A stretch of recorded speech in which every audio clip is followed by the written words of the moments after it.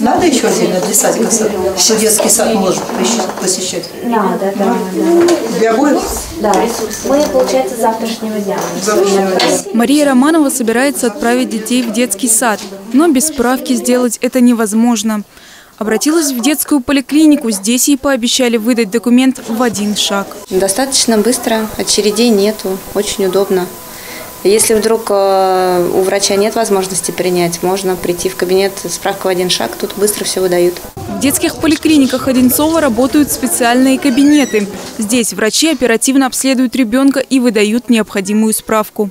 А основная наша функция этого кабинета для, для того, чтобы максимально было удобно родителям, это посещение, а, в одно посещение. Да? То есть родитель пришел, ребенка осмотрели, а, выписали справку, что ребенок здоров, а также обязательно требование – это выписка а, эпид-окружения и также выдача направлений на анализы. Справку в обязательном порядке требуют в школах, детских садах, спортивных секциях и бассейнах.